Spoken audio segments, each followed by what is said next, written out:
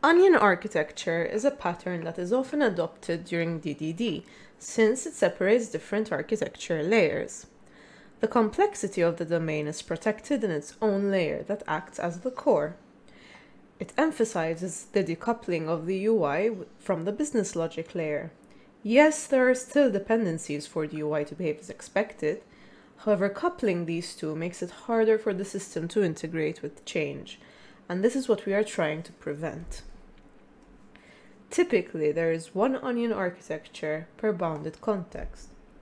The concept of onion architecture is that the center is key, so outer layers depend on internal ones. The dependency flow goes inward. As you can see, the domain model is coupled only with itself. It is purely independent, but it directs the behavior of all its outer layers.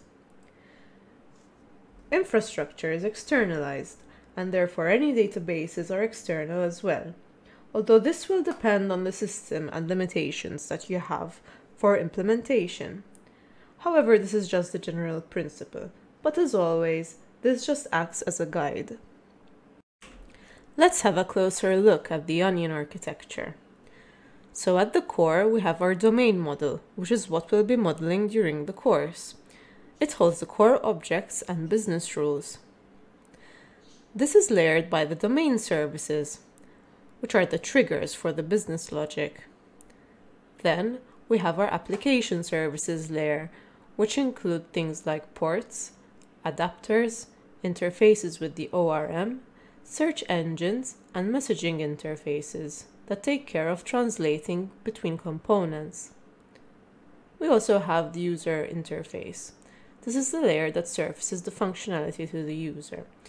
And as we discussed previously, all the infrastructure resides outside of the Onion architecture. So these include things like databases and servers.